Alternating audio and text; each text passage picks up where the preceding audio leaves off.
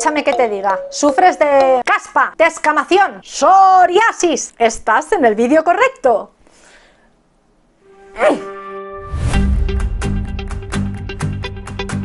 Buenos días, tardes, noches. ¿Qué tal estáis? Sexys. Estoy algo desaparecida por aquí, pero por una buena razón. Los que me seguís por Instagram ya lo sabéis, pero los que no, pues os lo digo ahora. Estoy reformando la cocina de mi casa y bueno, me está llevando más trabajo del que yo pensaba y es que todos los cambios que estoy haciendo los estoy haciendo yo con estas dos buenas manos, incluido cambio de puertas, bueno, en fin, no quiero, no quiero adentrarme demasiado en el tema, ya os lo enseñaré porque lo estoy documentando todo. Pero eso lo vamos a dejar para otro momento y nos vamos a centrar a lo que venimos en este vídeo, que es a ese buen remedio para tratar y combatir la psoriasis. Es un remedio natural 100% eficaz.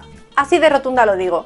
Y no voy a entrar aquí a lavarle el cerebro a nadie, pues porque no me gusta tener que convencer a la gente de algo. Lo mejor que os puedo decir es que lo probéis. Pero cuando lo probéis, por favor, volver y me comentáis. Esto lo hacía mi madre en la peluquería cuando veía alguna clienta pues que tenía algún problema de descamación, psoriasis o caspa agresiva. Tan solo lleva tres ingredientes que además podemos hacerlo de dos formas. Em, la versión, mm, coger los ingredientes, machacarlos todos y usarlo. Y luego tenemos la versión para utilizar más a menudo sin tener que estar elaborando cada dos por tres el producto. Venga, suéltalo linda, suéltalo porque lo están esperando. ¿Se pueden sustituir? No, no, no, no, que no. Se utilizan estos ingredientes por algo, por una razón de peso, y esa razón es por propiedades de esos ingredientes y de cómo actúan en conjunto. Fin. Así que por favor no me preguntéis en los comentarios si se puede sustituir por otro ingrediente porque os voy a decir que no o es que simplemente no voy a contestar. ¿Para qué preguntar? Este producto mi madre lo hacía en la peluquería al momento y lo aplicaba al momento a la clienta. De esa manera se aseguraba de que todos los ingredientes estaban frescos y mantenían todas sus propiedades y beneficios.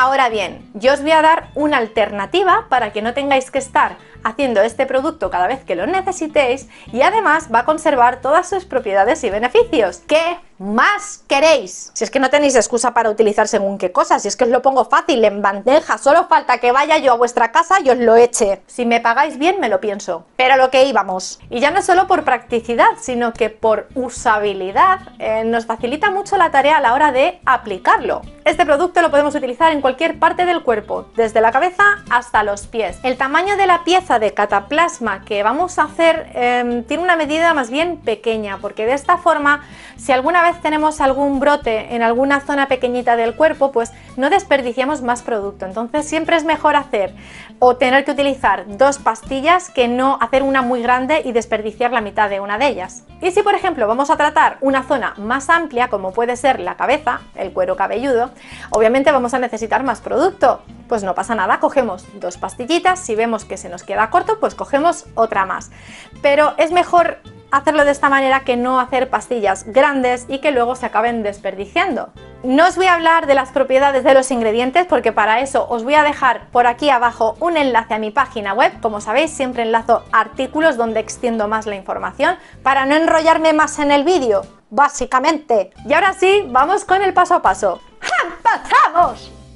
Vamos con los ingredientes. 140 gramos de aloe vera con su cáscara, 40 mililitros de aceite de oliva virgen extra y una yema de huevo.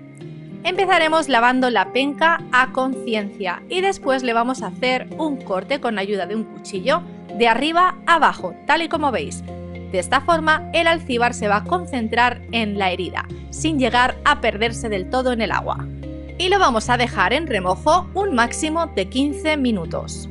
Cortamos nuestra penca en trocitos pequeñitos porque lo vamos a pasar a un vaso batidor. Si queréis hacerlo con un robot de cocina, no hay ningún tipo de inconveniente. El aceite que yo utilizo es un aceite de oliva virgen extra, como el que veis, aseguraros que es de buena calidad.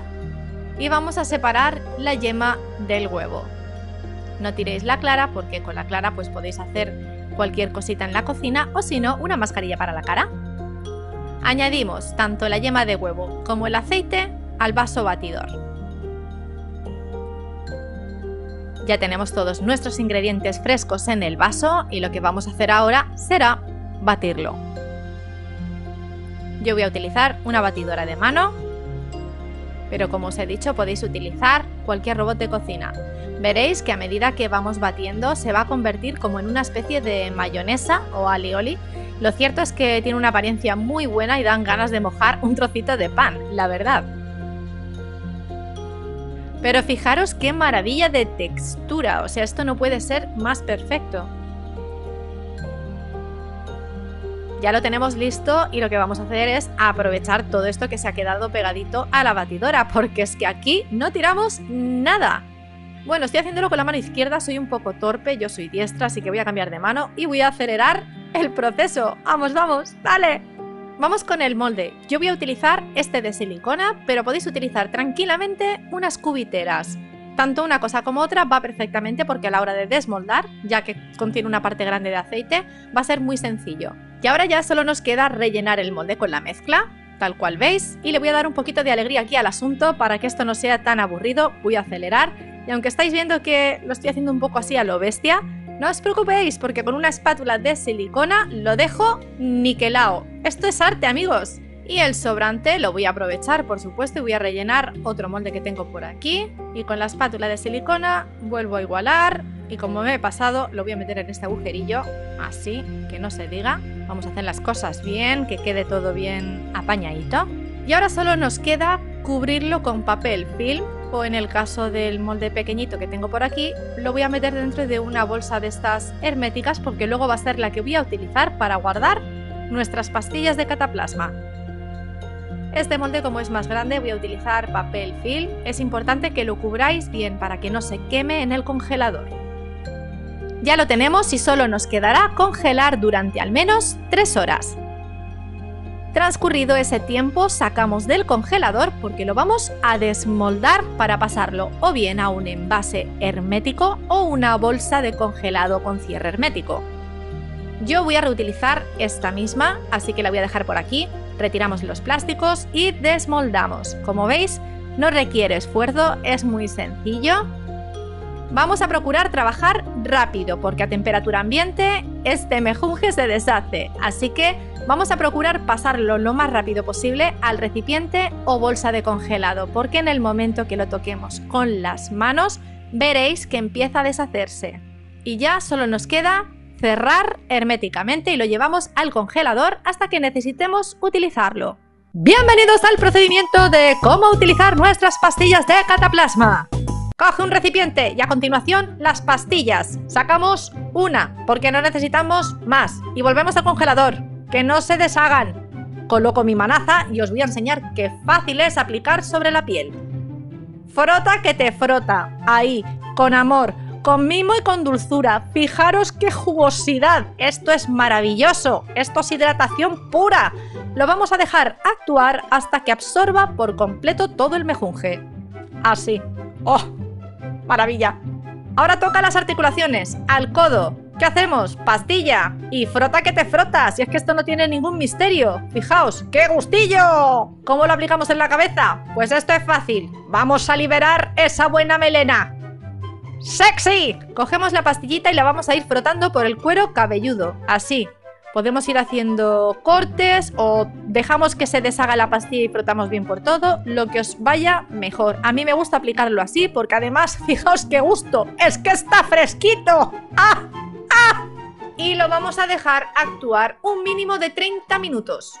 Enjuagamos y ya está listo. Pero eso no es todo porque puedes utilizarlo en la piel tengas o no problemas dermatológicos. Yo lo utilizo muchísimo después de cada exfoliación o después de los peeling químicos. En el día de ayer me hice uno y la verdad es que me dejé la piel fatal, muy irritada e inflamada y esto me va a calmar al instante. Así que, frota que te frota. ¡Ole! ¡Ole! ¡Ole!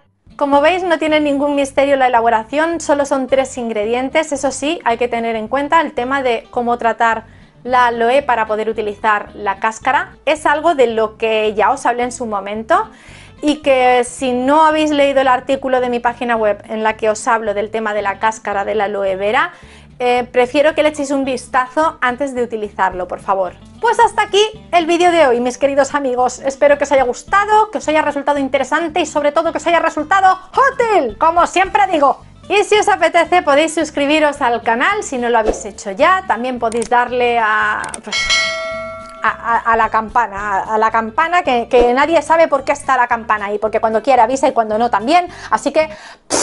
pues eso, pulgar arriba si te ha parecido la leche y si ya lo compartes con tus amistades y tus familiares, ya es que te voy a querer hasta el infinito y más allá. Nos veremos muy pronto en un siguiente vídeo y no olvidéis ser bueno. Tanto hablar de psoriasis me pica la cabeza.